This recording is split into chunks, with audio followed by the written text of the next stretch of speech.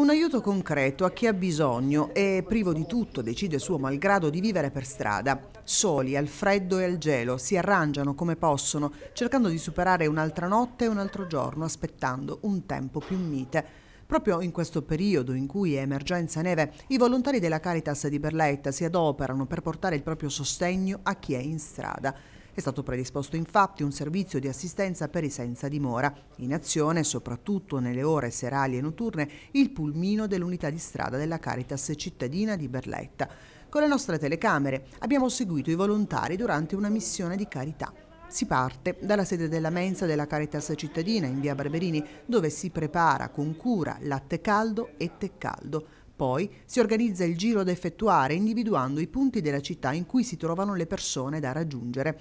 Armati quindi di brioche, biscotti, bevande calde ed equipaggiamento per ripararsi dal freddo della notte, coperte e sacchi a pelo termici capaci fino a meno 20 gradi, i volontari, con il direttore della Caritas di Berletta, Lorenzo Chieppa, hanno messo in moto il pulmino della carità.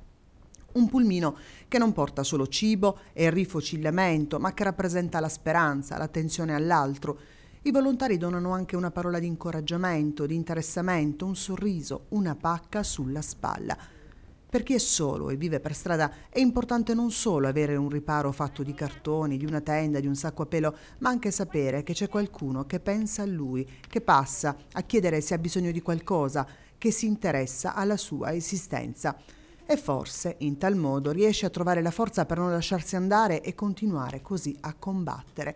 Un'esperienza, quella del soccorso in strada, che permette anche di conoscere storie davvero toccanti. Il pulmino della carità distribuisce bevande calde, ma anche parole che riscaldano il cuore. Saccappello funziona? Sì. È termico, va bene? Sì, va bene, sì. Beh, buonanotte Giovanni. Buonanotte Giovanni.